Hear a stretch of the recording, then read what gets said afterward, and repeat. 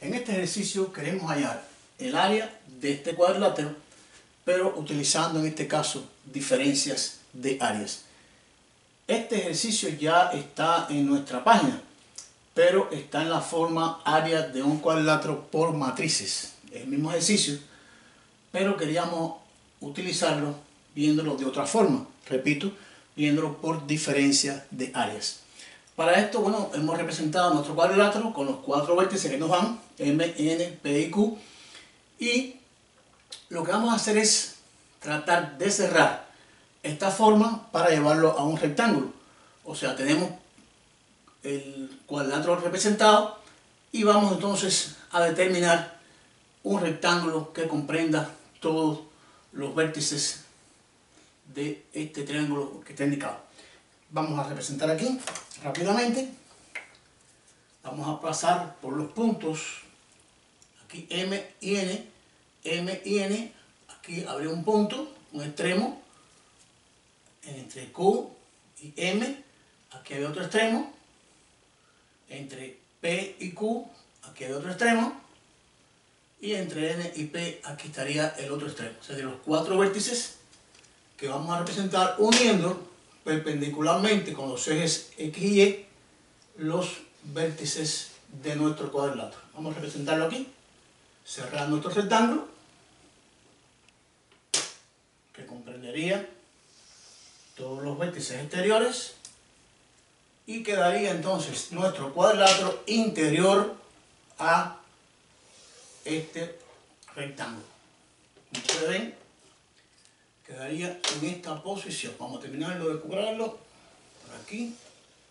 Ok. Bien.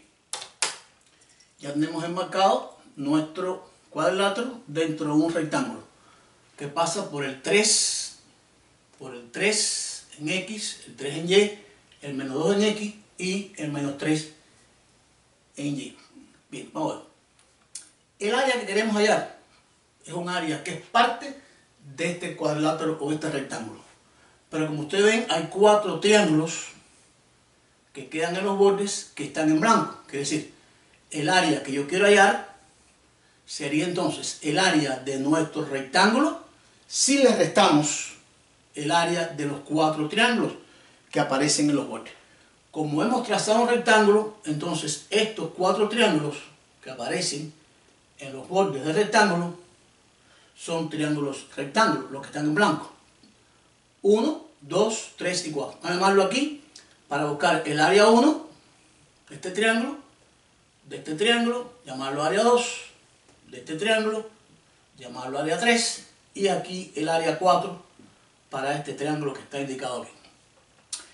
¿Cómo podemos hallar el área de cada uno de estos triángulos? Bueno, recuerden que el área de un triángulo el área de un triángulo cualquiera sería su base por su altura sobre 2. Esta es la fórmula que conocemos del área de un triángulo. Como estos triángulos precisamente son triángulos rectángulos porque están considerados en los extremos de un rectángulo, entonces podemos considerar que uno de los lados de este triángulo puede ser la base y la otra puede ser la altura. O sea, base y altura. ¿Qué distancia existe de aquí a aquí? Bueno, aquí tenemos el 1 hasta el 3, es decir, que esta medida serían 2. Y aquí tendríamos menos 2, serían de aquí a aquí, que es la medida de este lado, serían 2 unidades. Por lo tanto, el triángulo 1, vamos a verlo, área del primer triángulo, que sería base por altura sobre 2, nos quedaría de la siguiente forma. Considerando la base, que serían dos unidades, y la altura serían dos unidades. Serían 2 por la base, 2 por la altura sobre 2, simplificamos, y la primera área me daría 2 unidades cuadradas. Recuerden que estamos hablando de área, por lo tanto hablamos de unidades cuadradas. El primer triángulo que está en blanco, al cual tenemos que restárselo al rectángulo exterior, este triángulo que está aquí en blanco tendría dos unidades cuadradas de superficie. El segundo, llamarlo aquí, A sub 2.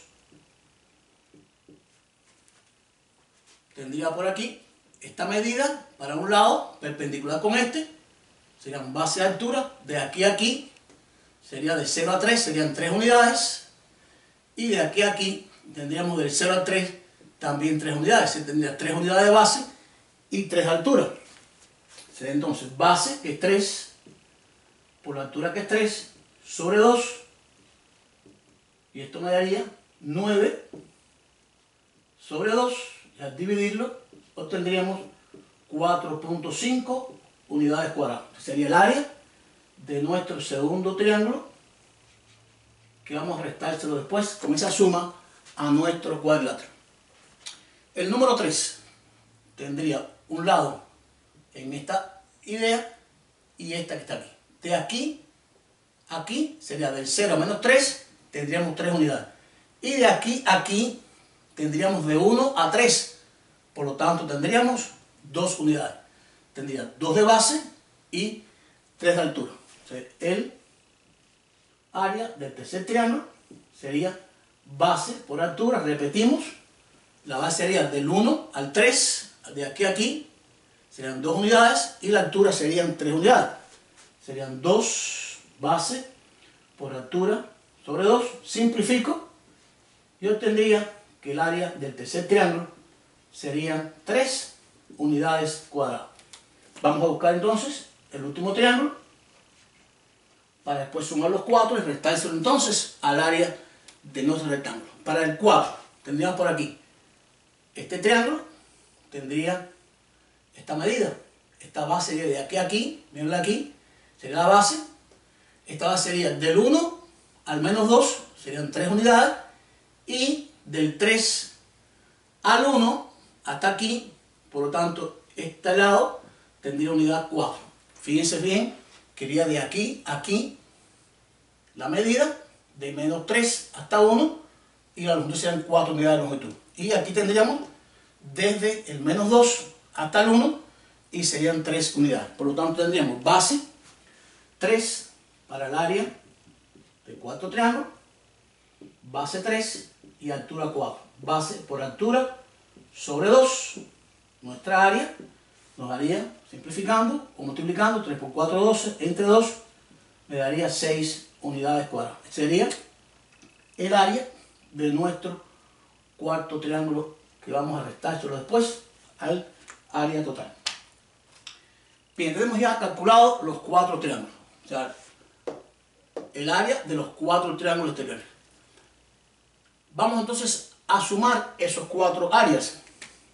Sumando, o sea, la suma de esas áreas, de esos triángulos, me daría el área 1 más el área 2 más el área 3 más el área 4. Repito, es la suma de las áreas de los cuatro triángulos que aparecen indicados ahí. Área 1 eran 2 unidades cuadradas. El área 2 son 4.5 unidades cuadradas.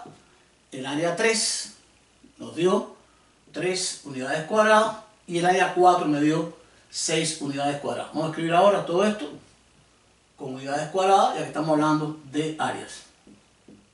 Estos triángulos serían 2 más 4, 5, más 3, más 6, 9, 11. Esto me daría 15.5 unidades cuadradas. Esta sería la suma de las cuatro áreas de nuestros cuatro triángulos exteriores. 1, 2, 3 y 4.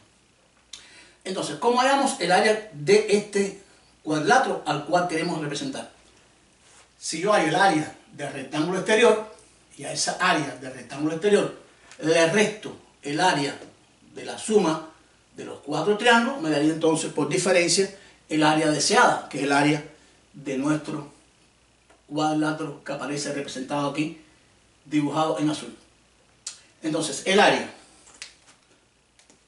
escribo aquí, el área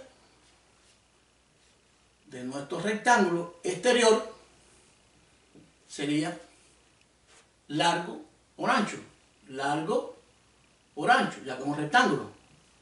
Nos quedaría de la siguiente forma. ¿Cuánto mide? ¿Cuánto mide el largo de nuestro rectángulo? De menos 2 hasta 3. De aquí a aquí habrían 5 unidades.